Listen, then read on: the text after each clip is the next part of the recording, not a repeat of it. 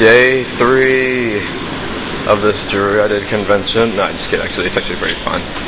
Just walking through the sky bridge. The end is in sight. The worst is behind us. And now we have this sunshine and rainbows to look forward to. A lovely sky bridge that's going to take us all the way back to the wherever everybody is. I really don't know right now. But that's alright because I'm sure I'll find something to do. Good morning. I, first of all, want to tell you how much I absolutely love that you guys are here for a couple of reasons. Number one, because it's early Sunday morning. and I like The people being who guys are probably, already. What am I awake for right now? or why didn't I go to bed at all last night? Um, and secondly, because of all the things that I do, um, whether it be voice acting or music or whatever, all of those things are fun and they're great. But this is probably, in my opinion, the most significant thing that I can share. Uh, this is something that I hope will far outlast me. And so um, I'm very, very, very grateful and privileged to be able to talk with you guys about these things. And I love you for being here. Let me just say something right off the bat. It's not a church service. It's a place, it's just an opportunity to get together and share thoughts on God. Okay? Uh, we're not going to have a choir. We're not going to pass any offering plate. Thank heavens, because I spent all my money in the dealer room. Somebody's going to put a little, a little Gundam in the bottom plate. That's all I have. But you know, God says in His Word that where two or three are gathered together, there I am in the midst of them. It doesn't matter whether there's stained glass around us. It makes no difference to God whether you're wearing a suit jacket or a dress. It has nothing to do with whether there's an organ nearby. He doesn't care about those things that people tend to make so important about religion. He cares about you. Plain and simple. Just you. Not all the songs and dances. Not all the performance. Not a list of do's and don'ts.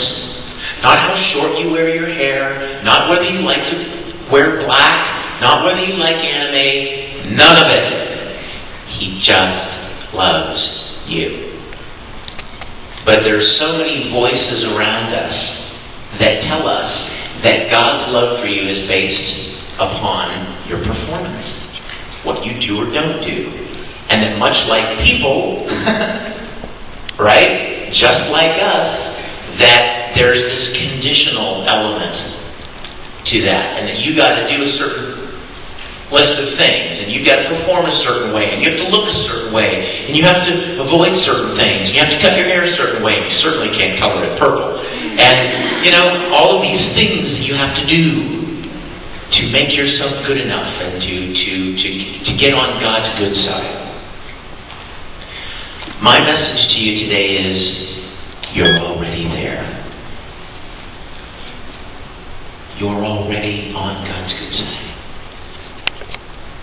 How many people, when they fill out an application, write that they're Catholic because that's what their family is? And if you were to sit them down and say, tell me all the tenets of Catholicism, they wouldn't know. They know nothing about Catholicism. They just say they're Catholic because their parents were Catholic. My grandparents were Methodist. So if I'm going to put something down, I write Methodist. You know what I'm saying? It's always, it's just kind of what they've always heard, but there was, there's never, there's not a real connection to it. And that was the same with me. I I grew up in it, so I just assumed that I was in.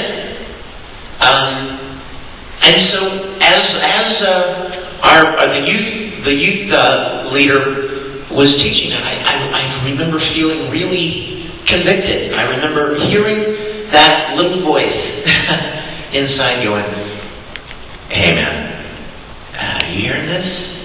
He's talking to you, buddy."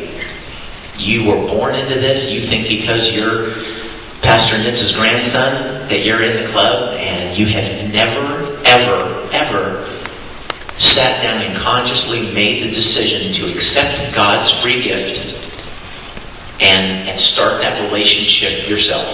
Never done it. And I, it really struck me. It really hit me. I was like, that's right. I, I, I really haven't, have I? That was when I made the decision to accept Christ for myself. Accept the gift. Now, again, I'm not asking you guys to prick your fingers. I'm not asking you to drink any Kool-Aid. I'm, I'm, I'm, I'm not forcing anything. I'm sharing my story with you. Do you, do you hear me? I'm not I'm not forcing you or or trying to hypnotize you or trick you into anything. I'm sharing my journey. I'm sharing what I have come to believe. You'd be in your living room and you have your little coffee table there and your little boys babies holding on to the edge of the coffee table with their little wiggly legs and they've been crawling all this time, but they they they prop themselves up and they pull themselves up and they're standing there trying to stand. And you would get about 10 feet away and you kneel down and you go, Come here. Come here. You can walk to me. Yes, you can. Come here, baby. Come here, my boy. My boy. Come here. Come to daddy. And they would let go table, right? and they'd start walking to their dad. Oh! And they would fall, right? Did you by any chance say, oh, come on! What's wrong with you? You got legs, don't you? I gave you those legs. Get out! You're embarrassing me. Is that what you did? You know what he did? It's okay. You can do it. I'm right here. I'm right here. You can make it. I believe in you. My boy. My boy. Come on. I'm not moving. My hands are strong and I'm they're right here. You can do this. I'm not leaving. I'm not to move away. I'm not to. That's God. That's the image. And I, believe me, I have more than my fair share of mistakes and failures. And you know what's funny is that a lot of people, as soon as you profess to believe something, you're under this microscope.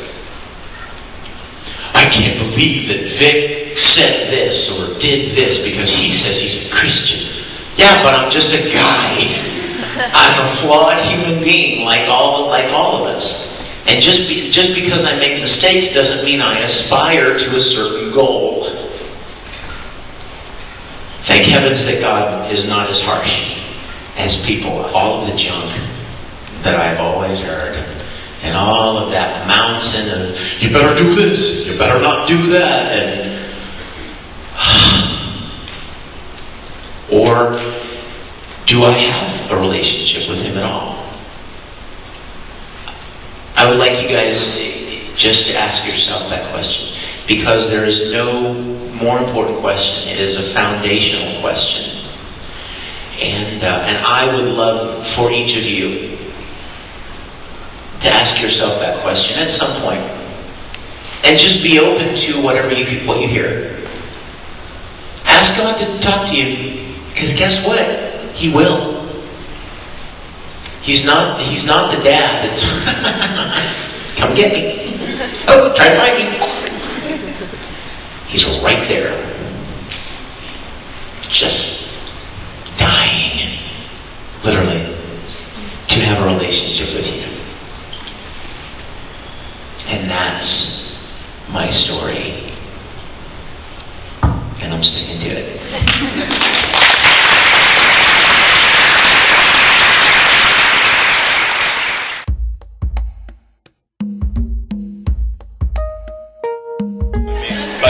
Just one last thing here.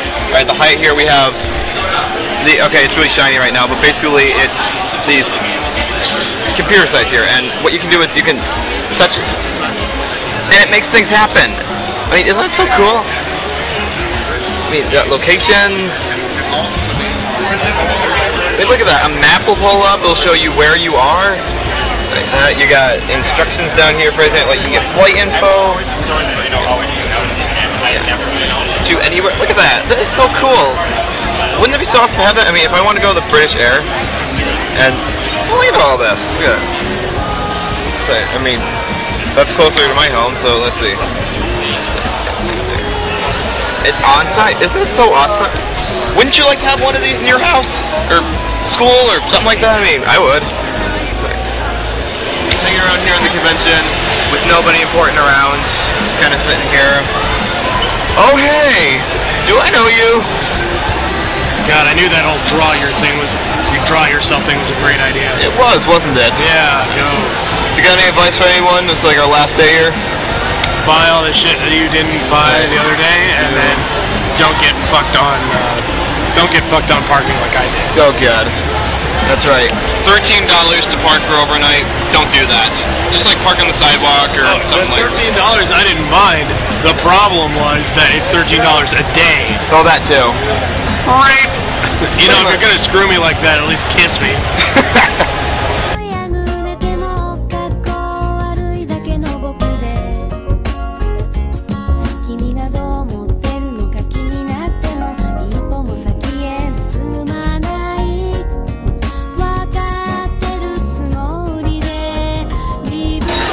Been